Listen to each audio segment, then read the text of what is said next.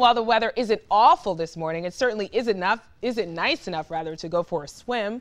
Well, that's exactly what John Knicely, Brian Mastre, and Jared a little bit later, and local police are going to be doing this morning, all for a good cause. John continues our coverage via 6 View Live. Hi, John. I'll tell you what, there is a problem out here, and that's the wind, Lena. It is so windy, and it's coming right behind my back, right off of the lake. We're Lake Cunningham, the south side of it, and today is the uh, Polar Plunge for Special Olympics Nebraska. It's a huge deal for Special Olympics because they raised uh, last year over $100,000, all the people that volunteer to go into this lake and survive.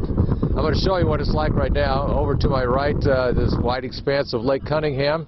And we're early. The uh, first people going in are at 10 o'clock. In fact, that's going to be me, Brian Mastre, Jared Robinson, with the Omaha Police Department. Omaha Police has been a faithful supporter of uh, Special Olympics as well as law enforcement across the state. So we're joining with them. We'll be the first ones in this morning.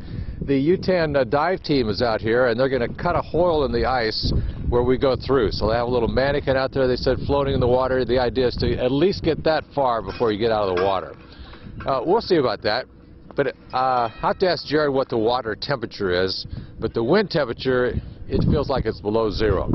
They normally have some warming tents out here, but it's too windy, so they couldn't have those. So when we get out of the water, we're just going to have to scramble to our cars, and hopefully they're going to be warm to uh, change clothes.